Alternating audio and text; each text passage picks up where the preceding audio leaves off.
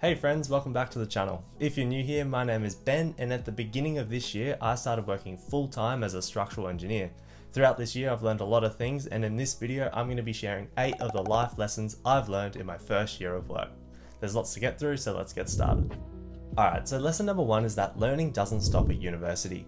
For many of us, university is seen as the final chapter of our educational journey. And while this may be true when it comes to receiving any formal education, learning itself is something that you need to make sure that you're always doing. For me, this year, like the last four I spent at university, still involved a countless number of hours reading textbooks, watching tutorial videos, and making my own notes. And this is because at university, you only really scrape the surface of what you need to know to be a competent engineer.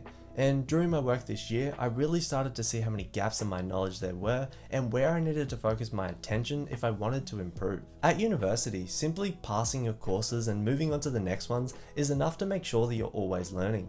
But when you enter the workforce and this set curriculum is removed, it's up to you to discover what you don't understand and find the resources to figure it out.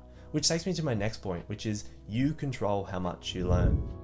Okay, so unlike university, where you can track your improvement throughout the semester by checking your results from assignments or exams, at work, how much progression you want to make is completely up to you. Let me explain. For example, say there's a senior engineer asking you to do a task that you've never done before, and they give you an Excel spreadsheet which is going to help you to complete the task. There's two ways you can go about doing this task. The first way is the easy way, which would just be plugging in the exact numbers that you've got into the Excel spreadsheet, trusting the result and leaving it at that. And then the second way, which would be the harder way about completing this task, would be going through that spreadsheet and breaking it down so that you completely understand and agree with everything that's going on, and then using it to complete the task. Now, obviously taking the time to read through their calculations and get familiar with everything they've done is going to take way longer than just plugging in the numbers and trusting the result. But if you're interested in developing your own skill and being able to complete this task independently, then sacrificing some of your own time to go through this is going to pay off in the long run. And this takes me to my third point, which is invest in yourself.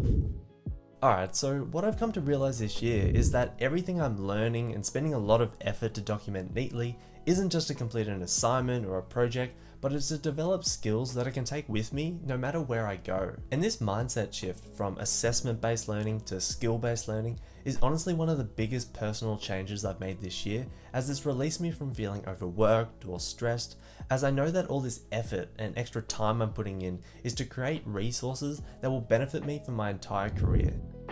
Alright, and lesson number four is that balance brings happiness. As a university student, your daily schedule can be very flexible, and with that comes the ability to fill up your time with a bunch of other things, like part-time work, hobbies, or even just relaxing. But when you begin full-time work, your schedule fills up really fast and you can feel like you have no time for yourself. Throughout the year, I definitely felt that I lost my work-life balance at times, and while getting this balance right is different for everyone, here are three quick tips that helped me. Number one is to set boundaries. So this means that you should schedule time for things that are important to you, whether that be exercise, hobbies, or spending time with your family. Number two is practice self-care. Make sure you're getting enough sleep, eating well, and finding a way to relax and de-stress at the end of the day. And number three is say no. For example, if you're already super busy at work and people are trying to give you more work to do, you do need to speak up and say that you don't have any more capacity. People will understand, but you need to speak up. I know this can be hard when you're a junior staff member, but you do need to say something because you can't be expected to do everything, and it's alright to say no. Okay, and lesson number five is that it's up to you to drive your career in the direction you want it to go. And what I mean by this is that if you want to get experience or exposure in a certain area, you can't just sit back and wait for it to happen. You need to proactively ask and look around for opportunities. In the workforce world, no one's going to be keeping tabs on you and making sure that you're competent in each area of your job. So if you want to improve your skills on something, it's up to you to identify what that skill is and then go to your manager and ask to be put on a project where you will get that experience. Likewise, after a bit of time in your first job, you might begin to realize that a skill that you really want to develop isn't ever going to be able to in your current role because the company that you work for doesn't do that type of work or for a number of other reasons. However, knowing that you have the power to move companies so that you become a well-rounded and proficient engineer is something that you should always keep in mind because those first five years out of university I think are really really important and you don't want to waste that time hoping that things will change. Alright, and lesson number six is be accountable. Even as a graduate engineer, you'll be given tasks that you're solely responsible for completing.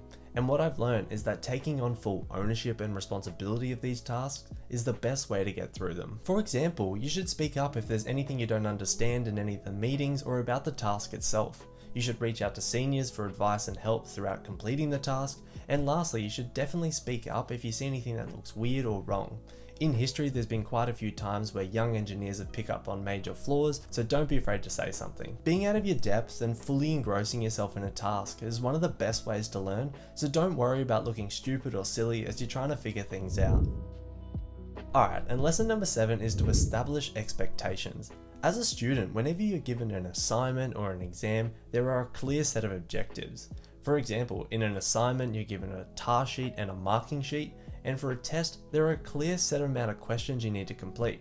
However, when you're a working engineer, those objectives are a lot more ambiguous if you don't say anything. And what I've learned is that there are two main things you want to clarify before beginning any task. The first thing is what are the deliverables? Is it a sketch, a calculation pack, a model, or even just an Excel spreadsheet? And the second thing is, how many hours are there available for me to do this? As structural engineers, we often work to strict budgets, so it's important to know how many hours you can put into something so you don't blow the budget and you know how much effort to put in.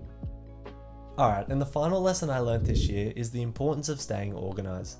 As a full-time engineer, you often work on multiple projects at once, so being able to prioritize tasks and manage your time effectively is crucial for meeting deadlines. Now, there are so many different ways you could go about keeping yourself organized, and that could honestly be a complete video in itself, but a few things you definitely want to keep a close eye on and manage carefully are your emails, your to-do lists, and your documents. In my opinion, spending the time to organize yourself and clearly lay out everything you want to get done can sometimes be just as productive as completing the task itself. So if you are feeling overwhelmed by how much you need to get done, I would recommend just taking a step back and focusing on tidying up the information in front of you before getting on with the next task. Alright, so there you have it. That was 8 of the most valuable lessons I learned in my first year as a graduate structural engineer.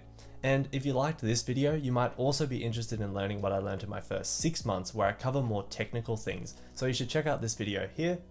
And if you want to find out what the 10 tips I'd give myself if I was going to be starting my engineering degree all over again, then you should check out this video I made here. Okay, that's it guys. Thank you so much for watching and I'll see you in the next video. Bye bye.